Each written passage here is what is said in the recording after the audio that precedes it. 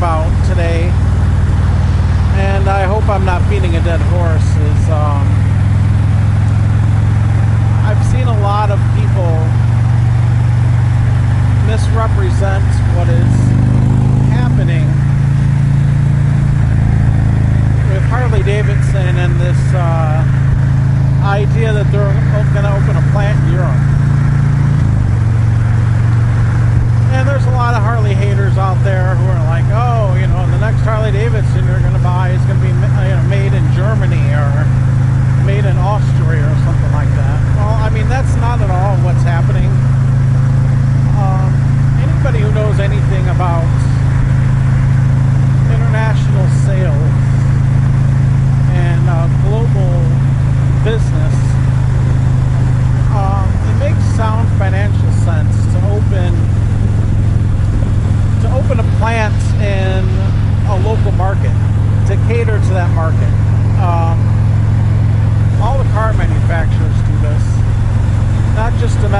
I mean, most, uh, about 90% of the, if not 100% of the Honda Accords you can buy in the United States um, were made in the United States. The same with the uh, Toyota Camry. Um, Harley has been actually doing this for a long time. They have, they've had a plant in India and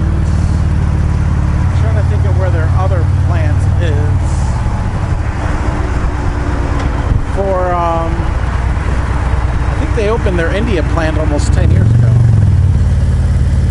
Um, and they have another one. I forget where the other one's at right now. But anyway, uh, and that's to avoid, you know, tariffs. A lot of countries have protective tariffs. Everyone goes nuts when the United States does it. But um, they then, those countries can then again turn around and tariff us, which is one thing that uh, President Trump is trying to solve. But the Harley plant, if they do decide to build it in Europe, will sell Harley Davidsons to the European market. They're not going to build a Street Glide Special in the UK or wherever and then um, sell that UK to you or me who lives in the Midwest of the United States. That's not what their plan is. Uh, they're acting like a global company. And that's basically the crux of it. I mean, regardless of how you feel, and I, I try not to get about talk about politics on my YouTube channel, but regardless of how you feel about Donald Trump, he's in this particular case, um, he's wrong. It's um, I think he maybe got overzealous and started sending out tweets before he knew the facts of the situation. And you know, they closed they're closing that Kansas City plant, which it is still open as of today. Um, but they're closing that plant. It was scheduled to be closed. I mean, Harley sales are down over the past 10 years, maybe 20%. And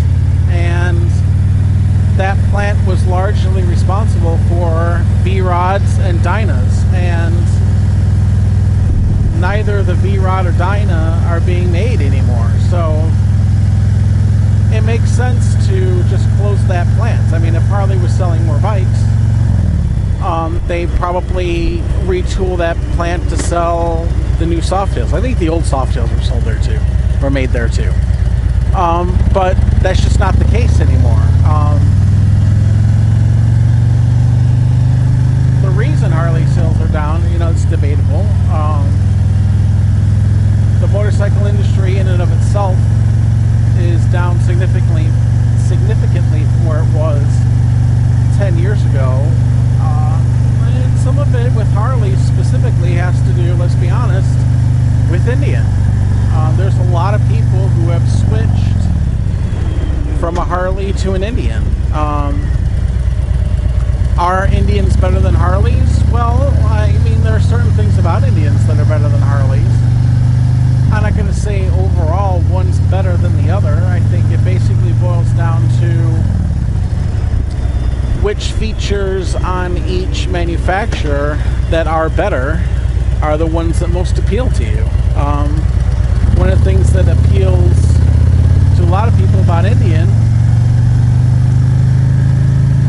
you know, if you look at the Roadmaster versus the Ultra Limited, the Roadmaster has a lot of features on it that the Ultra, Ultra Limited just doesn't have, or that you can't get unless you upgrade to a CVO. Plus, it's it's new. Um, there's not a lot of them out there. Well, that's changing quickly, and people want something new. You know, they just want to give something else a try. For so long, Harley Davidson was the only American motorcycle manufacturer that was, you know, truly an American company. Now there's another one, so people want to give it a shot. But regardless of all that, you know, Harley sales are down.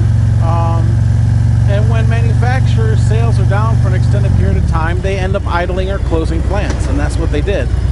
This whole opening a market or opening an uh, plant in Europe,